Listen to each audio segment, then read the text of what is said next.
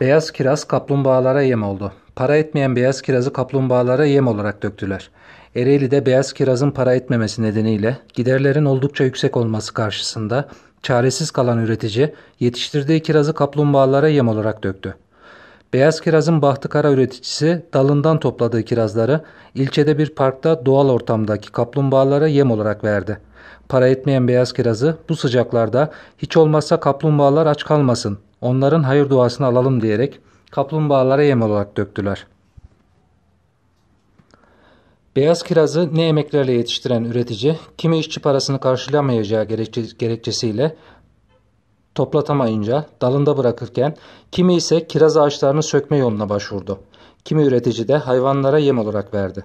Gerçekten vahim bir durum. Beyaz kirazın başkenti Ereğli'de parktaki kaplumbağalara yem olarak verilen beyaz kirazın kaderi maalesef yine değişmedi. Biliriz ki vatandaşlarımız parklarda güvercinlere yem atarak güvercinleri beslerler.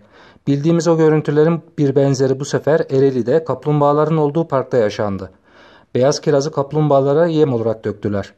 Beyaz kirazın başkenti Ereğli'de ilk kez bu kareler ekibimiz tarafından görüntülendi.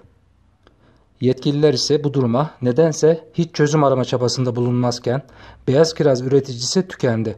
Maliyetini karşılamayan beyaz kiraz tüccarın vurdum duymaz bencil davranışları karşısında çiftçinin elinde kaldı.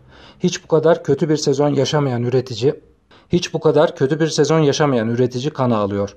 Borç batağındaki beyaz kiraz üreticisi zor günler geçiriyor.